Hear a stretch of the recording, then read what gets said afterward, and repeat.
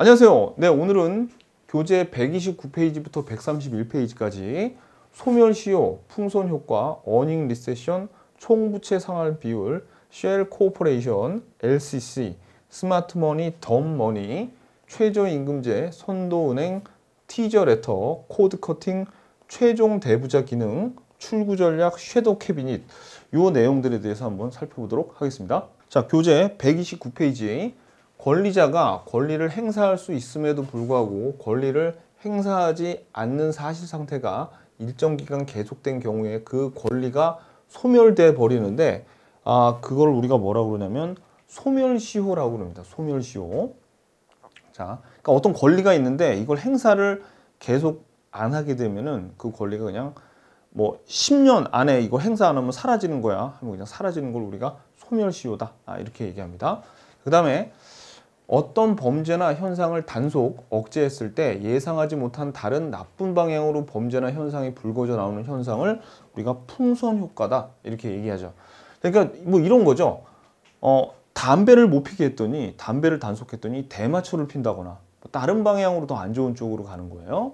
자, 그다음에 기업의 실적이 전년도 대비 두 분기 연속으로 하락하는 경우를 뭐라 그러냐면 earning recession이라고 합니다. recession이 침체죠.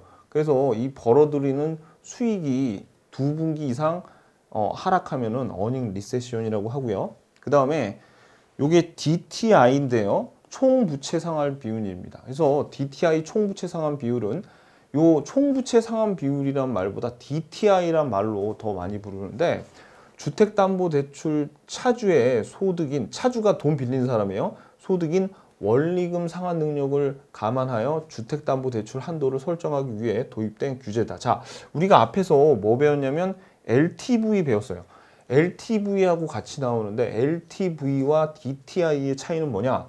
LTV는 어, 자, LTV는 어떤 건물이 예를 들어서 이 건물의 가치가 10억이면 이 중에서 30% LTV다. 그러면 10억, 10억의 30%는 3억밖에 안 빌려주는 거예요. 그러니까 LTV는 이 건물의 가격하고 상관이 있는 건데 요 총부채 상환 비율은 뭐냐면 차주의 소득 이 돈을 빌리려는 사람이 가령 요 부동산 담보대출을 받으려는 사람이 이 사람의 소득과 그 외에 다른 부채까지를 고려하는 거죠. 그러니까 LTV는 거, 요 담보가 되는 건물을 보고 돈 빌, 얼마 빌려줄까를 챙기는 거고 DTI는 돈 빌려주려는 사람이 소득이 충분해서 돈을 갚을 수 있을까 그걸 살펴보는 거야. 그러니까 이거는 돈 빌리는 사람 살펴보는 거고 이건 부동산 담보를 살펴보는 거다. 이렇게. 그래서 이 DTI와 LTV가 대표적으로 그 우리 부동산 경기가 과열돼 있을 때 그 부동산 경기를 잡는 가장 대표적인 규제 수단이 이거죠. 이걸 낮춰버리면 돈 빌리기가 힘들어지니까. 자, 그 다음에 법인으로 설립해 등록되어 있지만 특별한 자산도 없고 영업 활동도 하지 않는 회사를 말하는데 이게 shell corporation이 그 껍데기만 있는 회사라는 얘기죠. 본격적인 영업 활동 개시 전 자금 조달을 목적으로 설립되는 경우가 많으나 세금 회피 수단이 되기도 합니다. 자, 그 다음 페이지 130페이지 불필요한 서비스를 없애고 운영비 절감에 집중해 대형 항공사보다 저렴한 항공권을 판매하는 저비용 항공사를 뜻하는 말이다. 우리가 이거 LCC라 그러죠. Low cost carrier. 기존의 일반적인 항공사를 어, FSC, full service 어, carrier라고 하고요. 이거 이거 반대 개념이에요. 자, 월가에서 출연한 용어로 차별화된 정보력과 판단력으로 한발 앞선 투자 기관이 고수익의 단기 차익을 노리고 장세에 따라 빠른 속도로 움직이는 자금을 우리가 스마트머니라고 합니다. 반대로 전문성이 상대적으로 결여된 개인 투자자, 그러니까 개미들이죠. 자금을 일컫는 용어로 스마트머니의 반대 개념이가 덤머니, 덤이 바보라는 뜻이죠. 그죠? 자, 아, 그 다음에 국가가 노사 간의 임금 결정 과정에 개입해서 임금의 최저 수준을 정하고 그 이상 임금을 지급하도록 강제함으로써 근로자를 보호하는 제도이다. 최저임금제도네요. 그죠? 최저임금제. 최저임금제도는 1894년 뉴질랜드가 가장 먼저 도입했대요. 자, 그 다음에 은행 산업의 흐름을 주도해 나가고 여신 운용이나 의사 결정에서 다른 은행의 모범이 되는 은행을 말한다. 은행 업무 중 거의 모든 면에서 어, 비교 우위에 있는 은행이다. 따라서 금리 결정이라든지 새로운 제도 시행에 있어서 가장 앞선 은행. 자, 이건 금리 결정은 기준금리를 얘기하는 건 아니에요. 왜냐하면 기준금리는 중앙은행에서 정하는 거니까. 그러니까 은행끼리 거래하는 콜금리를 때큰 가장 큰 의사가 반영되는 요거를 우리가 선도 은행, leading leading bank라고 합니다. 자, 그다음에